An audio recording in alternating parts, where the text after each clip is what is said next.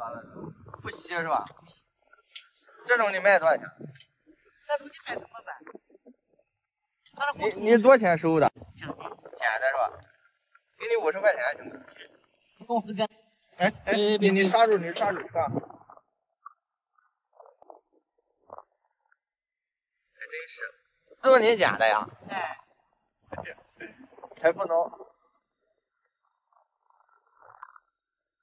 你这太沉，我这一对给你一百，要吧？我喜欢这种东西。行，那我拿着。挺好的，就是。您您甭您甭您甭，大妈，我看您也不容易。行了行了，不，我知道有时候您那个什么，这一百是我给您的。哦，可别了别了。哦，了别了。拿着买点东西。他不了。拿着买点东西。不是，您就太实了。哎呦，谢谢。你捡这个也有时候也买不到。啊，谢谢谢谢。谢谢谢。那您慢点哈。好了，再见。哎哎。慢点哈。啊好，谢谢啊。谢谢你。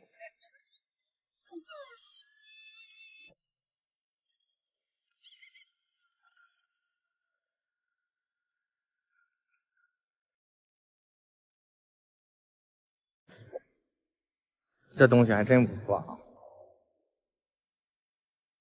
有时候啊，也是没办法，遇到一些老人可能不是很懂。你给他多了，他未必要，可能能把人吓着。有时候有一些喜欢这个东西嘛，因为毕竟我是从一线出来的，有时候问问叨叨的，收到一些东西，甚至也不当好其实我们不懂艺术品，甚至文物都是从民间出来的。这一个包浆啊，太厚了啊！如果说哎，这是没有什么太大的价值呢，就当是帮大妈了，因为也不容易。啊，如果说呢，这个东西清理出来啊，很精美呢。就当咱捡个漏。我先不说怎么着，我回去刷洗出来给大家看一下。咱走。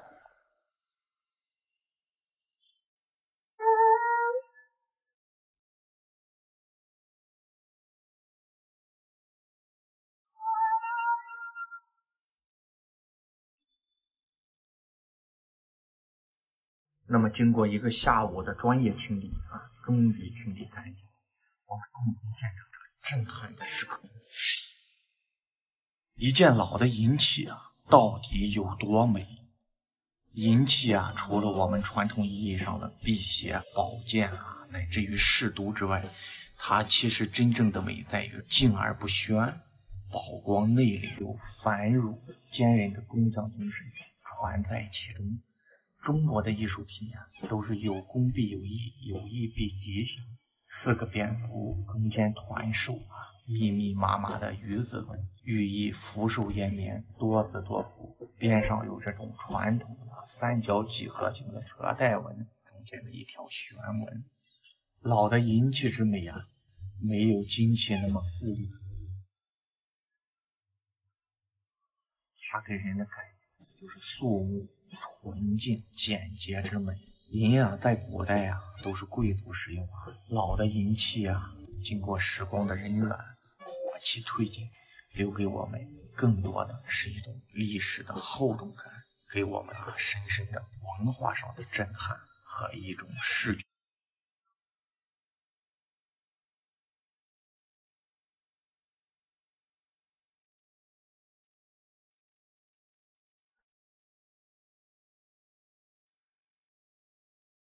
时光一逝永不回，往事只能回味。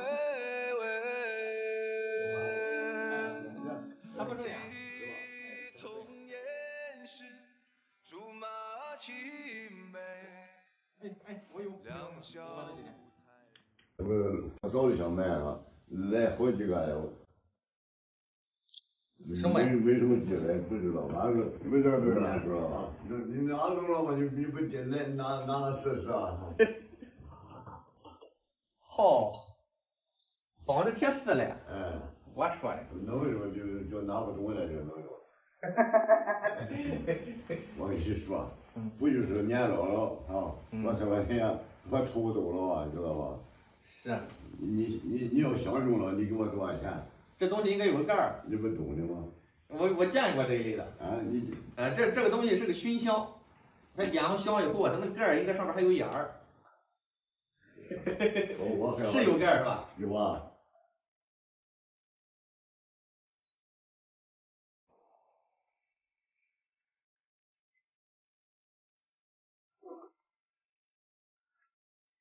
应该哈，应该是哈。那肯定正好啊，肯定正好啊，好，颜色可好，哎呀，对呀，品质这么完整，我再看一下，你看看，我看有毛病吗？如果是摔了或者什么的，治不了他。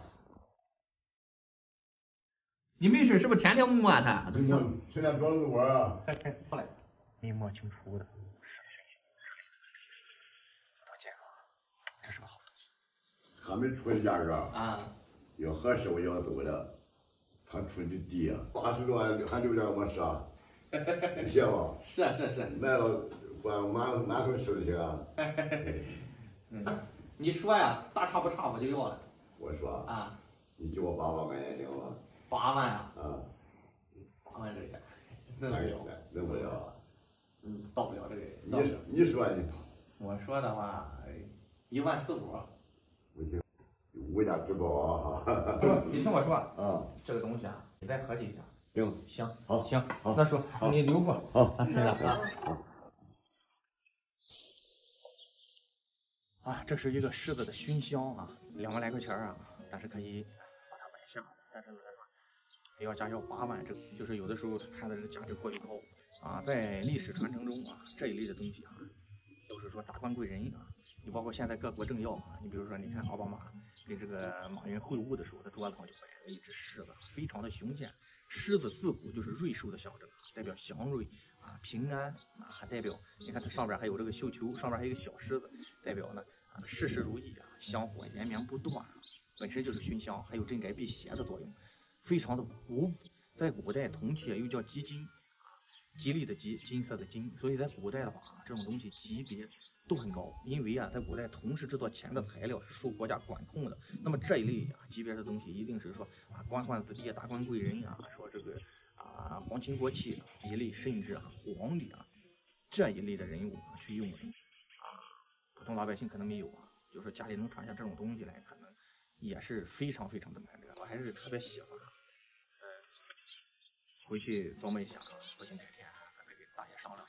有缘者得吧，或者价高者得吧。哎，还是给我感觉特别漂亮，念念不忘。那个气势在那摆着，黄土挺胸啊，我就想到啊，里边焚上一炷香啊，烟雾缭绕的感觉，特别放到家里，沉静感。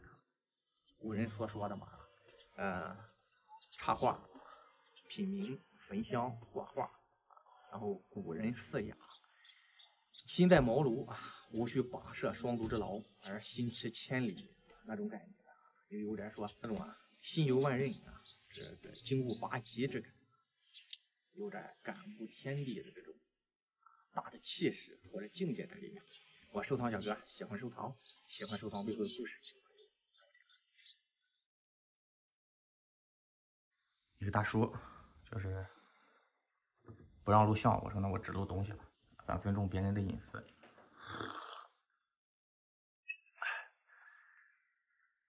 我看是个什么宝贝？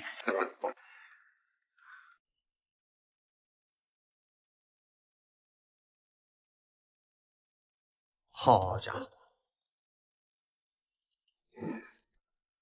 哎呦，好家伙！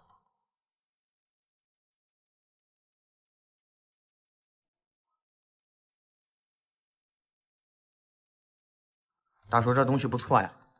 哦，可是那时候不是有不是一两事还得在夏天的时候，那时候我一看上面带着“乾隆”两字，这东西不倒。你也下乡吗？是吧？那时候在当时就是在全国，我那年龄段都下乡。哦，你说的那个上山下乡？对。我以为你咱是同行呢。不是不是，那时候像你出来政策，上山下乡到内蒙，就在老乡家。老乡那时候中间我一看，这东西啊，真不是一般的。后来我就。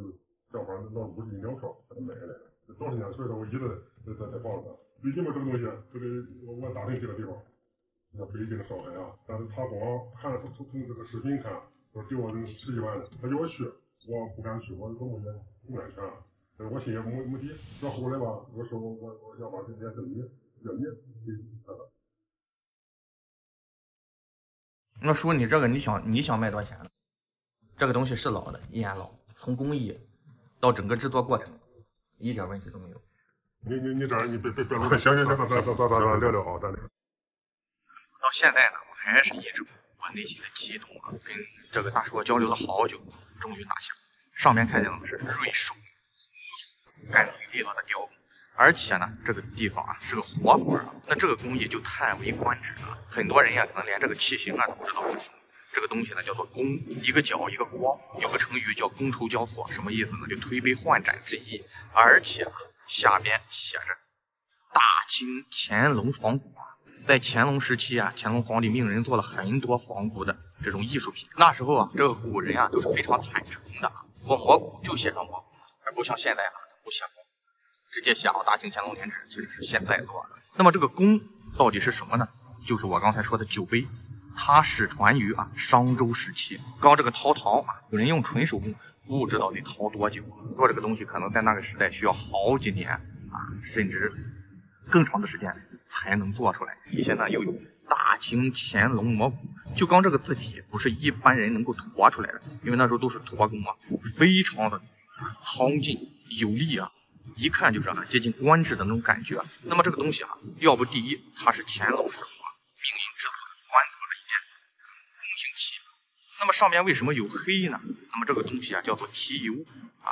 那这个工艺呢现在已经失传了，不是那时候就说乾隆也好，明代也好，你想想在那个时候这个级别，并不是说我们呀做一块和田的羊脂玉，而是为什么呢？再早的工都是青铜器，它用这种提油啊，色彩斑斓啊，犹如说遮云蔽日啊，风骨秋天的上边这种斑斑洒洒，其实就是为了表现青铜器的形式，又有玉器的这种高贵啊。你看上面这个兽。这种干脆利落的感觉哈，包括这个活环儿啊，所以说这件东西啊非常非常的难做，尺寸巨大，这一类的东西不是我们想见就能见得到的，所以我今天一定要拿下。什么级别的人物才能用这种级别的东西去喝酒？是不是？那么这件宝贝呢，可能颠覆阿宝藏用啊对于玉器的认知了。我们平常呢都是温润很洁白的感觉，而这种玉器给人的感觉呢是沧桑厚，给人一种。神圣啊，肃穆这种沉稳的感觉，是其他的那种玉质所表现不出来的。这也是古人对于玉器的理解。我相信大家看了我这个视频以后啊，对于玉器有新的啊一种理解。那么玉对于我们来讲，到底意味着什么呢？季羡林曾经说过哈，如果用一种物质贯穿整个中华文明，只有玉。那么孔子在两千多年前就说了，玉有德，仁义之见，仁。玉不离身。那么对于我们啊俊男靓女来说，如果形容一个女人女士特别好，我们就说亭亭玉立。那么对于一个男士来说，我们就说玉树临风。所以玉啊，就意味着男女老少无不爱玉。对于我们来说啊，可能是难以解开的情结。跟小哥啊学收藏长知识，记住这个东西叫做弓。我收藏小哥喜欢收藏，喜欢收藏的背后的故事，请关给我点赞。